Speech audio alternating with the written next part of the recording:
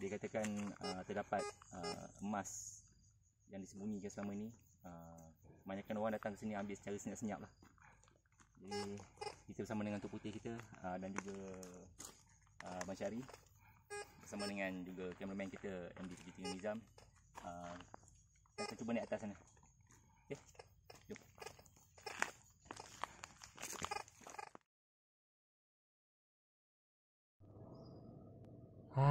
mana dah Tok Putih ni? Lama dah kita menunggu ni. Hmm. Okay, Assalamualaikum uh, warahmatullahi wabarakatuh. Okay, bersama lagi dengan saya MD73 Faizal. Uh, dan hari ni kita akan uh, meneroka suatu tempat di mana tempat ni dah lama uh, dirahsiakan oleh uh, pihak kerajaan yang terdahulu. Jadi tempat ni dikatakan uh, nenek moyang dahulu uh, menyimpan emas di sana. Jadi hari ni kami akan pergi meninjau lah. Okay, masih lagi bersama dengan saya, uh, tidak asing lagi. Tok Putih kita. Dan MD73 Nizam. Ini uh, ni tekong kita. Uh, Abang Syari. Uh, dia lah akan mengepalai, mengetuai kita punya uh, misi pencarian. Uh, okay. Okay, bagi sikit nama tempat tu apa bang? Namanya Bukit Malakata. Malakata eh. Malakata? Uh, okay, jadi Abang Syahri ni lah uh, dia pergi menyiasat ataupun uh, pergi men- menyelidik tempat tu uh, dan dia lah yang mendapat uh, maklumat yang mengatakan di situ terdapat uh, emas. Uh, jadi ceritanya siapa yang kerap pergi ke situ? Memang saya pergi lah. Lepas tu yang baru ni Tok Din lah. Eh, Tok Din telah tanya pada Cina tu. Kira satu sahabat lah, sahabat. Uh, nampak lah. Mana dia bagi tahu Cina ni cari apa kan. Apa dia kata, emas dia kan. Hmm. Okey. Jadi sekejap lagi kita akan uh, update balik lah. Selepas ni. Okey. Okey, ni jalan masuk uh, ke lokasi yang dikatakan tu. Okey, sekejap lagi sampai saja di sana kita akan uh, tengok apa yang terdapat di situ. Sama ada ada tapak perkampungan lama ataupun memang tempat sejarah. Kita tak pasti. Jadi mungkin Tok Putih kita pakar dalam bab-bab sejarah ni untuk uh, mendeteksi. Uh, sama ada tempat tu ada, ada uh, adakah kawasan lama penempatan istana ataupun tempat bersejarah lah macam uh, Tok kan Tok ucapan sejarah tu melalui apabila Tok sampai ke tempat tu baru kita dapat berinteraksi dengan kawasan tu. Berinteraksi? Ya. Mak- maknanya kena menggunakan kaedah gaib lah. Gaib, zahir, semua sekali dah masuk. Semua Okey. elemen kita masuk Semua dalam. elemen alam. Kita akan uh, campurkan lah. Okay, jadi jangan percayalah Tok Putih nipu itu uh, sebaik saja sampai uh, jalan ni berpalang. Maknanya tempat ni memang tak boleh masuk lah.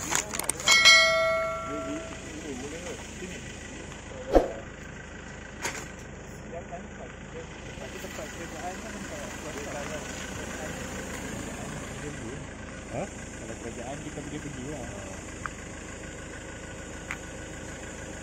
uh, jauh lah dari sini. Kita patah balik kita ikut jalan atas tadi Okey, jom kita patah balik naik ikut jalan yang straight tadi naik atas. Okey, pusing pusing pusing. Okey, naik naik naik.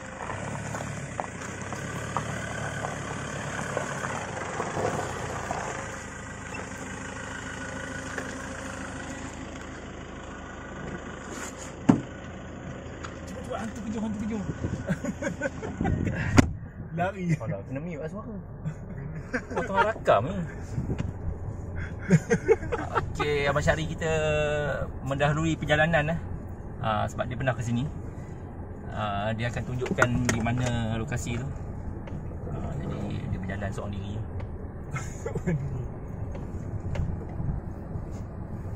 Oh, benda kat atas tu. loji air je.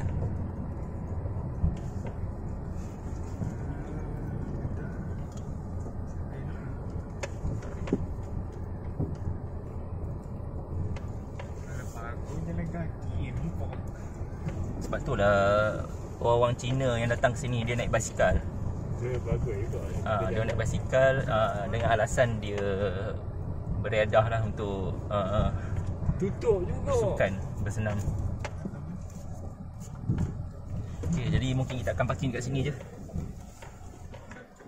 Okay, kita akan jalan kaki. Okay, jom.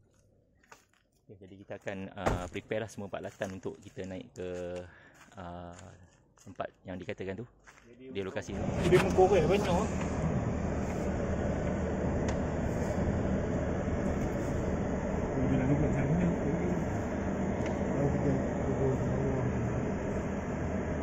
Okay, di sini lokasi yang dikatakan. Sini ya. Pakai dulu sini. Nampak biji banyak hitam-hitam pun.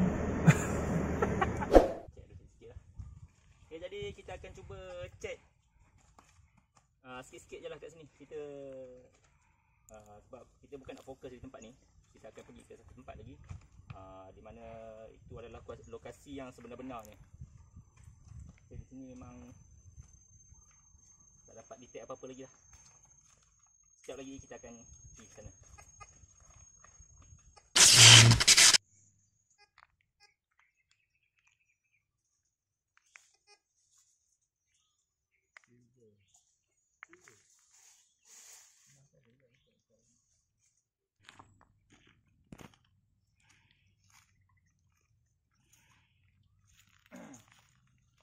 Jangan ambil. Jangan ambil. Ni apa? Okey, uh, setakat ni kita belum menemui apa-apa lagi kesan ataupun tanda-tanda tempat ni mempunyai emas. Jadi kesan uh, pahat pada batu-batu yang terdapat di sini memang kami ada jumpa. Jadi kita akan teruskan pencarian lah. Kita explore lagi. Okey, jom. Batu tu nanti sikit lah. Okey, kita menemui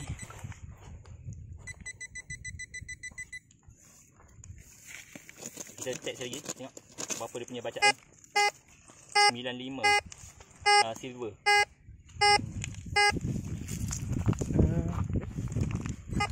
Okey, baca sini tengok sini ni. tengok sini Dia ada skop kau eh.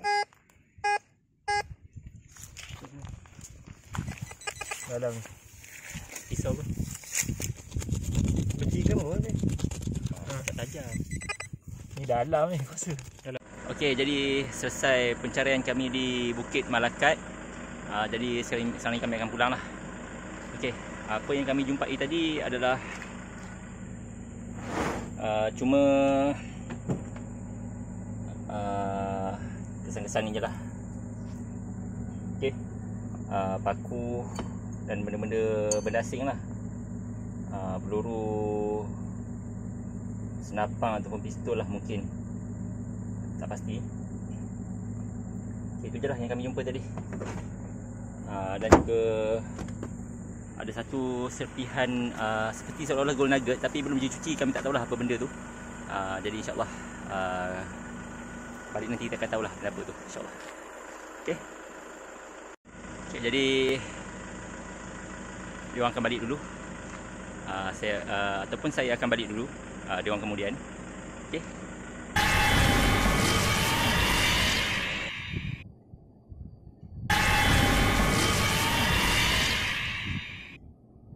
okey.